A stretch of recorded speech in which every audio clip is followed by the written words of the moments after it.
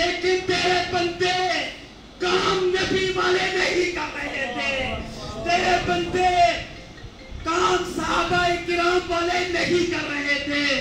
तेरे बंदे काम बलियों वाले नहीं कर रहे थे, बल्कि गर्म वाले कर। मेरे भाइयों, हम कहा सोए हुए हैं? आज उम्मत कहाँ जा चुकी है? पूरी दुनिया में उम्मत का बेड़ा गर्क हो रहा है। हर तरह से निशाना बनाया जा रहा है। और वो उम्मत जिस पर जुल्म के पहाड़ तोड़े जा रहे हैं, लेकिन हम फिर भी मस्त नींद में सोए हुए ये वो काम, ये उस नबी का काम जब अल्लाह तबारक व तआला की तरफ़ से ऐलान हुआ कि नबी आप उम्मत को दावत दीजिए। अल्लाह के नबी दावत देने के ये ऐलान फरमाया कूलू ला इलाहा इल्लल्लाह तुफ्लिहू। के लोगों ला इलाहा इल्लल्लाह कह लो कि अल्लाह के अलावा कोई इबादत के लायक नहीं तुम कामयाब हो जाओगे। दुश्मन बन गए और दुश्मनी किस तरह से हुई? कहा गया कि देखो, जहाँ नबी का नाम लिया जा रहा हो, जहाँ नबी बयान फरमा रहे हैं, उनके नज़दीक मत जाना, दूर रहे। अपने नौजवानों से कहा कि जब नबी अपनी बात शुरू करें तो तुम हल्ला मचाने लगना। तुम अपनी बातों में मस्त हो जाना। फिर लोग कहेंगे, अरे, ये तो फला इलाके के ऐसे ही हुआ फिर नायब रसूल यहाँ खिताब कर रहे हैं, कुरान पढ़ रहे हैं, नबी की हदीस बयान कर रहे हैं। हम सामने खड़े होकर वावेला मचा कहीं हमारी बात उनसे मिलती तो नहीं है ना। खुदा ना करे, ना मिलाए, लेकिन हम अपना खुद वो मुहासबा करें। वो भी कह रहे थे कि जब नबी की नबी का नाम लिया जाए या नबी खुद प्यार करे तो वावेला मचाना शुरू कर दो। ताकि किसी के कानों कान नबी की खबर ना हो। कुरान की तिलावत की आवाज़ ना पूछे। मेरे भाइयों, यहाँ उस प्यारे नबी का नाम लिया जा रहा है और अखबार खड़े होकर बातें कर। साहबा किराम का ये तर्ज अमल हुआ करता था कि जब मेरे आका बात फरमाने लगते थे तो वो इस तरह से हो जाया करते थे जैसे कि उनकी रूह परवाज है। में हरकत बाकी नहीं था। आज उस नबी के नाम लेवा होकर, नबी के बगैर मैंने पहले अर्ज़ किया था कि कोई सियासी चर्चा नहीं है कि यहाँ पर किसी लीडर की बात हो रही है, हम आपस में बात कर रहे हैं। नहीं नहीं। अरे मेरे भाइयों, ये उस नबी के नाम की महफिल सजाई गई है, जिन्होंने जब ये मक्के के अंदर ऐलान फरमाया दुनिया आपकी दुश्मन हो गई तो आप हमेशा की तरफ़ तशरीफ़ देंगे सबसे पहले। वहाँ समझाना शुरू किया कि देखो, अल्लाह एक है, इबादत उसकी करो। उसके अलावा किसी के सामने तुम्हारी पेशानी नहीं झुकनी चाहिए। वो भी इनकार करके वापस आए, फिर तायफ के किस लिए गए? क्या कोई हुकूमत का मुतालबा था हमारे प्यारे नबी का? नहीं। क्या माल और का मुतालबा था? नहीं। सिर्फ़ हमारा दर्द अपनी उम्मत का दर्द लेकर गए और फिर वहाँ के लोगों ने क्या सुलूक किया मेरे नबी के साथ? इनकी बातें मत सुनो। और किस्म के लोगों को पीछे लगा दिया। एक बात तो ये होती है, ठीक है जी, हम बात नहीं सुनते, आप वापस चले इतना काम चले नहीं नहीं। और दुश्मनी, जान, जानी दुश्मन बन गए। कहा, देखो इनको मारो। अंबिया के बारे में फरमाया जा रहा है कि इनको मारो। अपने औकाश किस्म के लोगों को पीछे लगा दिया। मेरे आका वापस जा रहे हैं और वो पत्थर लेके पीछे से मेरे आका को मारे जा रहे हैं। यहाँ तक कि मेरा आका करीम का जिसमें मुबारक लहू लाल हो जाता है। आपके नाले में मुबारक खून से तर हो जाते हैं। फिर हज़रत जिब्राइल हाजिर होते हैं कि या रसूल अल्लाह अगर आपकी इजाज़त हो तो हम दोनों पहाड़ों को मिला देते हैं और इस कौम को यहीं पर नेस्तो नाबूद कर देते हैं। अल्लाह। लेकिन मेरे आका ने शाद फरमाया जिब्राइल नहीं। ऐसा मत करना। अगर ये नहीं मानते तो ना माने। इनकी नस्ल वाले ज़रूर माने।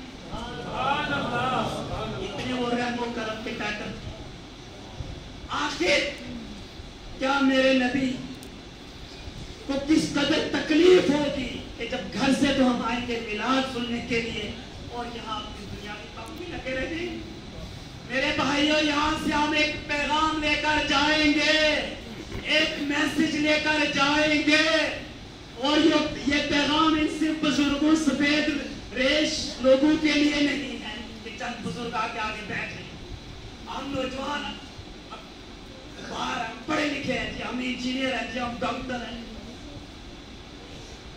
मुबारक हो आपको अपनी डिग्रियाँ। लेकिन बात मोहब्बत रसूल की आएगी। ये मेरे मोहतरम पहले भाई खड़े थे। मैं माजरत चाहूँगा क्योंकि वक्त की बड़ी किल्लत थी। लेकिन एक एक लफ्ज जो इनकी ज़ुबान से निकल रहा था, इसके मुस्तफ़ा से लबरेज।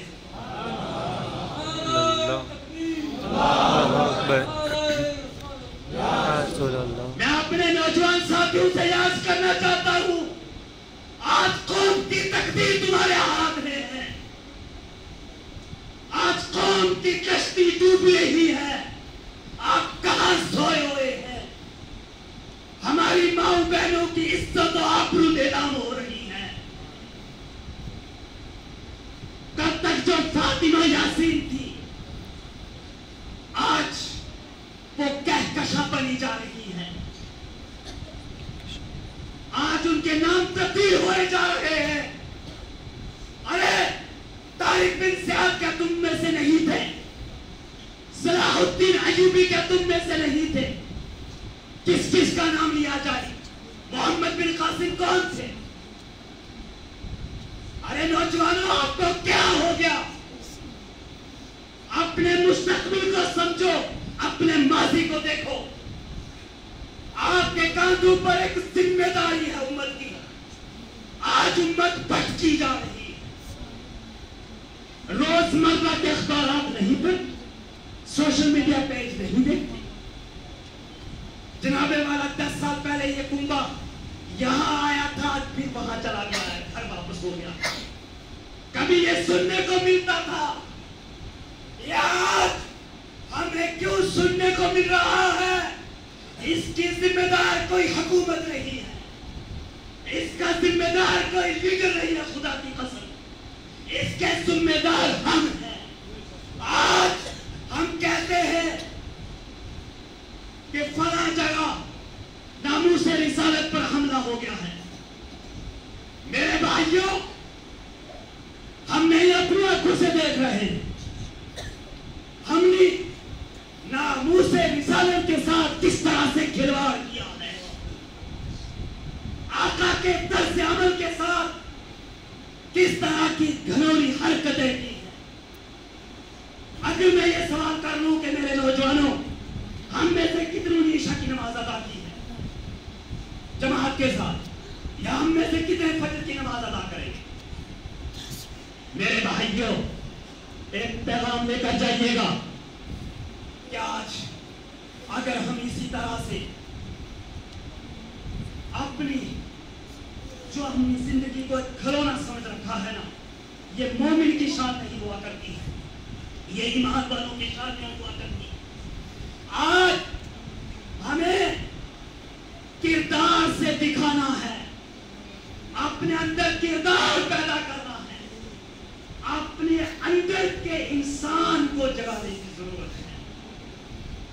आज वक्त का तकाजा है कि हम फिर दरे नबी पर हाजिर हो जाए। अल्लाह की बारगाह में हाजिर होकर क्रिया बजारी करके किरकिरा कर दुआ करें कि बोला बेशक जो मनसब हमें अता फरमाया था, उसको हमने भुला दिया है।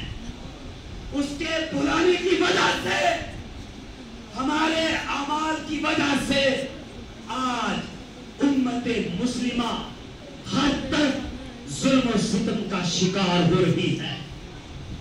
लिहाजा सबसे पहला स्टेज, सबसे पहला जो मरहला है, मैं अपने नौजवान साथियों से आज करना चाहता हूँ जिस प्यारे इस्लाम की मिलाद मनाने के लिए हम यहाँ पर आए हैं। जब आकाली इस्लाम मक्कतुल के अंदर और बल्कि मनवरा के अंदर जब अपनी जमात को लेकर तशरीफ़ फरमा होते थे, आपकी जमात में बुज़ुर्ग भी थे, आपकी जमात में नौजवान भी थे, आपकी जमात में बच्चे भी थे, औरतें भी थी। और असहाबे सुफा सुफा चबूतरे को कहा जाता है जो अल्लाह के नबी सबसे पहले मदरसा कायम किया। जो सबसे पहले यूनिवर्सिटी थी जो सबसे पहला कॉलेज था जो सबसे पहला मदरसा। हम देखें मेरे भाइयों किरदार किरदार साजी ज़रूरी है। डिग्रियाँ ज़रूरी नहीं है। नाराए तकबीर। नाराए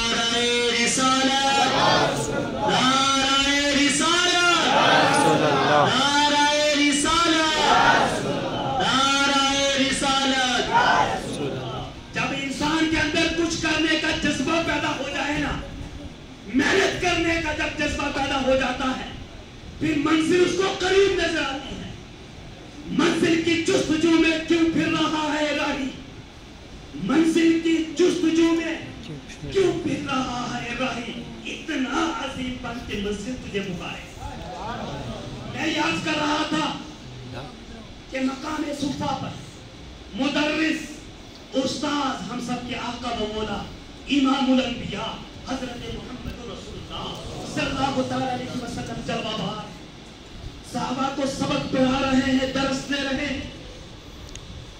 और उस दरस के अंदर एक तरफ़ कुर्राई थे कारी थे कुरान पढ़ने और पढ़ाने वाले थे।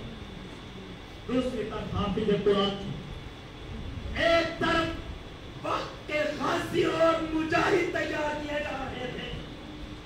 तो दूसरी तरफ़ मुआशरे को सुधार की राह पर लाने के लिए लीडर तैयार किए जा रहे हैं मेरे भाइयों, ये हमारे आका ने हमें तालीमात दी हैं आज दुनिया तरक्की कर रही है। आज हर इंसान आगे की सोच रहा है। और आगे यूरोपियन ममालिक को देखकर, और अंग्रेज़ों को देखकर फंगियों को देखकर, उनकी डगर पर, उनके रास्ते पर चलकर हम कामयाबी हासिल करना चाहते हैं मेरे नौजवानों में। हमें पीछे जाने की ज़रूरत है। साढ़े चौदह सौ साल पीछे जाइए, हमें सब कुछ मिल जाए मैंने कुरान की आयत मुबारक की, तिलावत की है।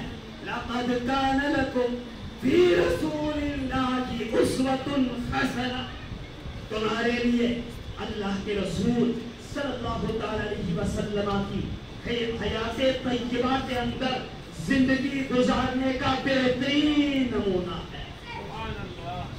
ये बोली वाली जमात किराम की ये सूफिया इजाम जिनको आज कौम दुनिया से बेजार समझती है।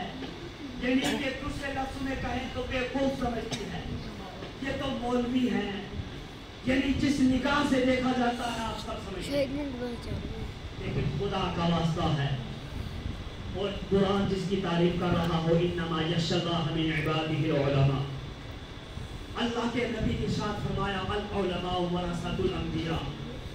मैं इसलिए ये अर्ज़ कर रहा हूँ कि अल्लाह तबारक ने कुरान पाक में इरशाद फरमाया या अय्युहल्लज़ीना आमनू अतीउल्लाह व अतीउर रसूल व उलिल अम्रि मिनकुम व इन तनाज़अतुम फ़ी शैइन फरुद्दूहु इलल्लाहि वर रसूल आवाज़ मेरा साथ नहीं दे रही।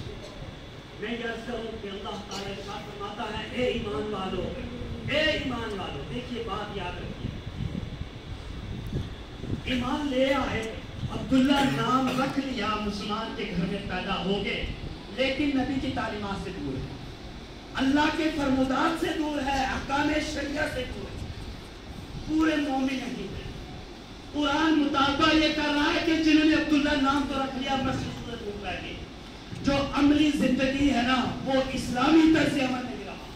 खाली नाम के मुसलमान बनने से कोई फ़ायदा नहीं। कुरान का मुतालबा ये है अल्लाह की इताअत करो वाती और रसूल और रसूल गिरामी की मिनकुम। और तुम में से जो हुक्मरान हैं, जो इस्लामी कवानीन को नाफिज करना जानते हैं, उनकी इत्तेबा करो।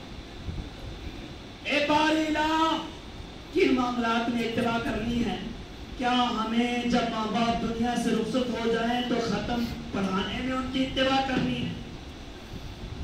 क्या जब घर में बच्चा पैदा हो जाए तो फिर उलमा की इत्तेबा करनी उनकी ज़रूरत है? क्या जब निकाह पढ़ाना हो तो फिर उलमा की इत्तेबा करें? नहीं नहीं। जो कुरान का फरमान है, उसका मतलब ये है कि कहीं भी हो, किसी भी हाल में हो, हर वक्त हमा वक्त, हर मामले के अंदर, चाहे वो सियासी सूरत हाल हो, माशी सूरत हाल हो, समाजी सूरत हाल हो, ज़िंदगी का कोई भी शोबा हो, आप ताजिर हैं, आप इंजीनियर हैं, आप मुलाजिम हैं, किसी भी शोबे से आपका ताल्लुक है। जब तक आप अल्लाह वालों से जुड़े रहेंगे तो आप कामयाब रहेंगे। जब अल्लाह वालों को शरीयत के जानने वालों से अपना रिश्ता खत्म कर देंगे और अपनी अकल के घोड़े दौड़ाएँगे तो कल भी नाकाम थे तो आज भी नाकाम। ये मैं नहीं कह रहा ये कुरान कह रहा है तनाज़अतुम फ़ी शैइन फरुद्दूहु इलल्लाहि व रसूल कि जब तुम्हारे दरमियान तनाज़ा पैदा हो जाए, यहाँ एक बात याद रखिएगा, घर में लड़ाई झगड़े का हो जाना, समाज में, गाँव में, बस्ती में, ये कोई ईमान के मुनाफी नहीं है। मेरी बात समझ रहे यानी ये चीज़ मुमकिन है, लड़ाई, झगड़ा, नाराजगियाँ पैदा हो सकती हैं, होती रहती हैं। बल्कि मैं ये कहूँ कि ये इंसानी ज़िंदगी का एक हिस्सा है। हज़रत मुफ्ती साहब और मौलाना यहाँ बाबा ये सब कुछ मुमकिन होता रहेगा समाज के अंदर नाराजगियाँ पैदा होती रहेंगी। लेकिन नाराजगियों के बावजूद उसका जो हल का तरीका कुरान ने बताया है, उस पर चलेंगे तो हम कामयाब हो जाएँगे। और वो तरीका है फरुद्दूहु इलल्लाहि व रसूल अपनी नाराज़गी को अल्लाह की तरफ़ भेज दें, अल्लाह के नबी की तरफ़ भेज दें तो हमारे सारे मामला हल हो जाएँगे। आखिर में मैं आपसे अर्ज़ करूँगा कि मिलाद मुस्तफ़ा मनाने का मकसद ये है कि हम खुद अपनी इसलाह करें, अपने घर वालों की इसलाह करें करें, अपने बच्चों की बच्चों की, बच्चियों की, बीवी की सब इसलाह करें, सबको नमाजी बनाएँ और माशरे के अंदर सुधार लाएँ। बिलखसूस मैं अपने बुज़ुर्गों से ये गुजारिश करूँगा। अपने बुज़ुर्गों से खुदा ना अपने बच्चों पर कड़ी नज़र रखें। अपने बच्चों पर और अपनी बच्चों पर कड़ी नज़र रखें। खुदा ना करे, खुदा ना करे वो दिन दूर नहीं, हम में से किसी की भी ये खबर आ सकती है कि फला अब्दुल्ला साहब क्या बन गए हैं, रंजीत जी बन गए हैं, फला बन गए ये कोई बात नहीं है आज की डेट में। और इसके अलावा क्या क्या बेहयाई, बुराई, क्या है आप उससे ज़्यादा समझते हैं। लेकिन ज़रूरत इस बात की है कि ये बात हम फैलाएँ एक दूसरे तक बुज़ुर्गों से गुजारिश करूँगा कि नौजवानों तक, और नौजवानों से याद करूँगा कि मेरा दिन मुस्तफ़ा का मकसद ये है कि हम अपने माँ बाप के ना फरमान बरदार बन जाए, ना फरमान ना माँ बाप के फरमान बरदार बन जाए नमाजी बन जाए, अच्छों का साथ करें, अच्छों के गुरु से दूर हो जाए नशइयों से दूर हो जाए, और जो तरह तरह की बुराई फैलाने वाले हैं, उनसे दूर रहें, अच्छों के साथ बैठे। यही नबी करीम सल्लल्लाहु अलैहि वसल्लम की मिलाद का मकसद है। अल्लाह ताला आप सबको कामयाबियाँ अता फरमाए। आखिर में मैं अपनी तरफ़ से तमाम आप हजरात का अरकान कमेटी का शुक्रिया अदा करता हूँ आप हजरात का शुक्रिया अदा करता हूँ कि इतना बेहतरीन प्रोग्राम आपने सजाया है। और इन तबारक ताला अल्लाह की से उम्मीद है कि ये फैसले आगे भी सजती रहेंगी। मैं अल्लाह ताला से